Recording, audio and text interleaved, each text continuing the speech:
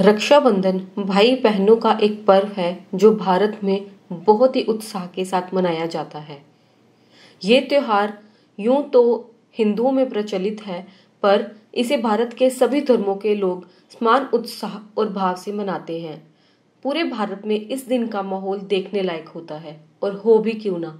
यही तो एक ऐसा विशेष दिन है, जो भाई बहनों के लिए बना है। यूँ तो भारत में भाई बहन के बीच प्रेम और कर्तव्य की भूमिका किसी एक दिन का मोहताज नहीं है, पर रक्षाबंधन के ऐतिहासिक और धार्मिक महत्व की वजह से ये दिन इतना महत्वपूर्ण बना है।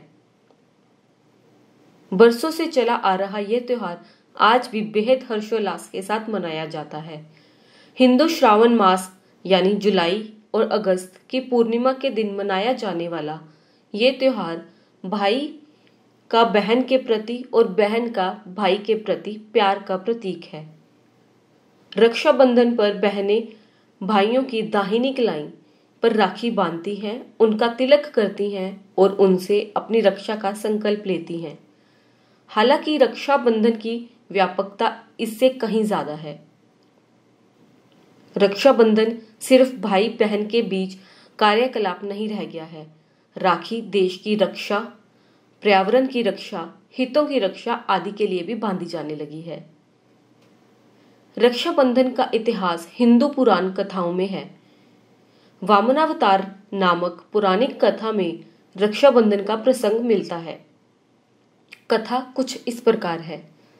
राजा बलि ने यज्ञ संपन्न कर स्वर्ग पर अधिकार का प्रयत्न किया तो देवराज इंद्र ने भगवान विष्णु से प्रार्थना की।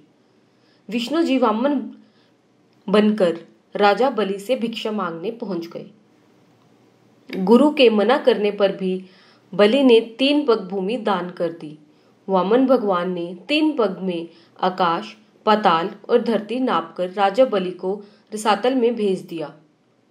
उसने अपनी भक्ति के बल पर विष्णु जी के हर समय अपने सामने रहने का वचन ले लिया। लक्ष्मी जी इससे चिंतित हो गई।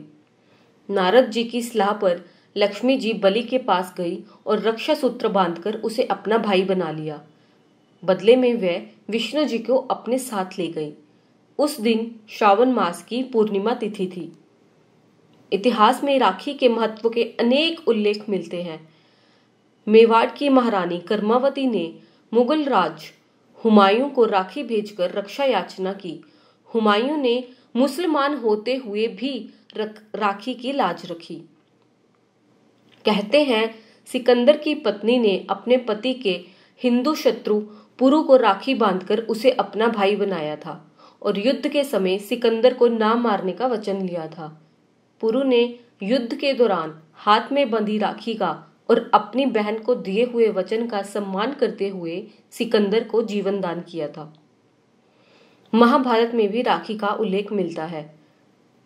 जब युधिष्ठिर ने भगवान कृष्ण से पूछा कि मैं सभी संकटों से कैसे पार रह सकता हूँ। तब कृष्ण ने उनकी तथा उनकी सेना की रक्षा के लिए राखी का त्योहार मनाने की सलाह दी थी। शिशुपाल का वध करते समय कृष्ण की तर्जनी में चोट आ गई तो द्रौपदी ने लहू रोकने के लिए अपनी साड़ी फाड़कर उनकी उंगली पर बाँध दी थी। यह भी श्रावण मास की पूर्णिमा का दिन था। कृष्ण ने चीरहरण के समय उनकी लाज बचाकर यह कर्ज चुकाया था। रक्षाबंधन के पर्व में परस्पर एक दूसरे की रक्षा और सहयोग की भावना निहित है। आज यह त्योहार हमारी संस्कृति की पहचान है और हर भारतवासी को इस त्योहार पर गर्व है। लेकिन भारत में जहाँ बहनों के लिए इस विशेष पर्व को मनाया जाता है, वहीं कुछ लोग ऐसे भी हैं जो भाई की बहनों को गर्भ में ही मार देते हैं। आज कई भाइयों की कलाई पर राखी सिर्फ़ इसलिए नहीं बन पाती क्योंकि उनके बहनों को उनके माता पिता ने इस दुनिया में आने ही नहीं दिया, जो कि बहुत शर्मनाक बात है कि जिस देश में कन्या पूजन का विधान शास्त्रों में भी हुआ है, वहीं कन्या भ्रूण हत्या के मामले देखने को मिलते हैं। यह त्योहार हमें यह भी दिला, याद दिलाता है कि हमारी बहनें जीवन में कितना महत्व रखती हैं। तो आइए इस रक्षाबंधन पर अपनी बहन के प्रति और दूसरी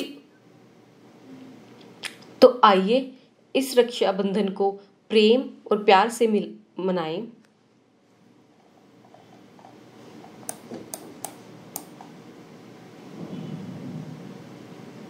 तो आइए इस रक्षाबंधन प्रेम का प्रतीक बने और भ्रूण हत्या को रोकने के लिए प्रण लें। आप सभी को रक्षाबंधन की हार्दिक शुभकामनाएँ।